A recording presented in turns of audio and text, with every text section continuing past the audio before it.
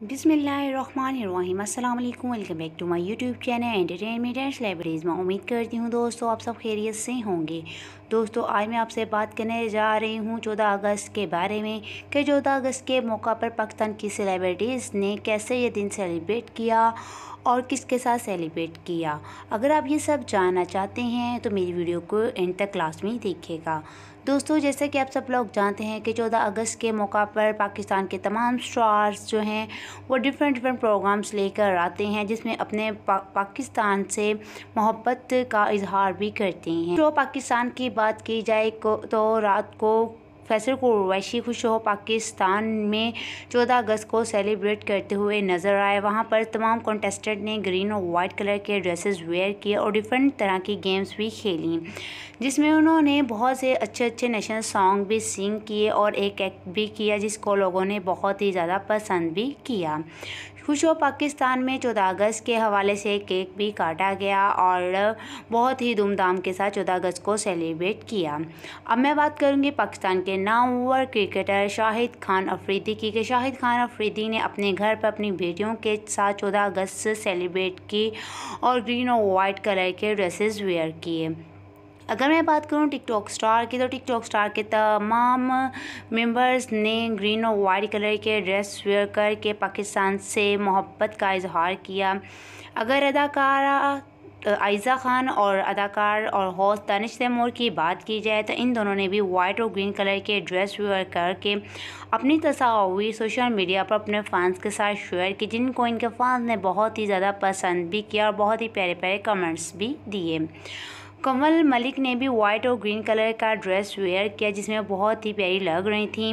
اگر پاکستان سٹار کی بات کی جائے تو پاکستان سٹارز میں زین بلوچ، اسامہ سکندر، عبداللہ، شرابیل اور تمام کانٹیسٹنٹس نے وائٹ اور گرین کلر کے ڈریس ویئر کر کے پاکستان سے محبت کا اظہار کیا۔ اور اس طرح شوبز انڈسٹری سے تعلق رکھنے والے بہت سے اداکار اور گلوکار جو تھے، انہوں نے وائٹ اور گرین کلر کے ڈریس ویئر کر کے پاکستان سے محبت کا اظہار کیا اور نیشنل سانگز بھی سنگ کیے۔ بابر بٹ اور فائدہ بٹ جن کی حال ہی میں شادی ہوئی ہے، انہوں نے اپنے گھر میں بھی ایک پارٹی رکھی چودہ اگست کے حوالے سے۔ تمام ٹک ٹاک سٹارز کو انوائٹ کر کے چودہ اگست کو سیلیبریٹ کیا اور کیک بھی کاٹا۔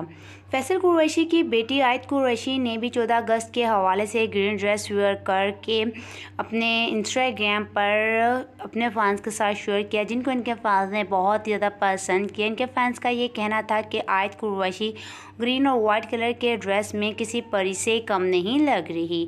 اسی طرح شاہ تاج خان، زرناب خان، لریب خالد اور بھی بہت سے ٹک ٹاک سٹارز نے وائٹ اور گرین کلر کے ڈریسز ویئر کیے اور نیشنل سانگ سنگ کر کے پاکستان سے اپنی محبت کا اظہار کرتے ہوئے فلیگ کو لہرایا۔ فیروز خان نے بھی فلیگ کو لہراتے ہوئے پاکستان سے محبت کا اظہار کیا۔ اسی طرح چیمپئن کی سے ابیہ نقوی نے بھی اپنے انسٹاگرام پر گرین کلر کی فراک ویئر کر کے اپنے محبت کا اظہار کیا، جن کو ان کے فانز نے بہت ہی زیادہ پسند کیا۔ جی تو دوستو، آپ کو میری آج کی یہ ویڈیو کیسی لگی؟ آپ کو یہ سلیبریٹیز گرین اور وائٹ کلر کے ڈریسز میں کیسے لگ رہے ہیں؟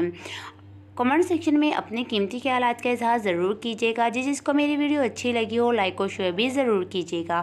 اور جس جسے میں چینل سبسکرائب نہیں کیا میں چینل بھی سبسکرائب کریں تاکہ میری نیو آنے والی ویڈیو تو آپ کو موصول ہو سکیں نہ بہت سارا خیال رکھیے گا، ہمارے وطن پاکستان کا بھی بہت سارا خیال رکھیے گا۔ مجھے اپنی دعاؤں میں ضرور یاد رکھیے گا۔ اللہ حافظ۔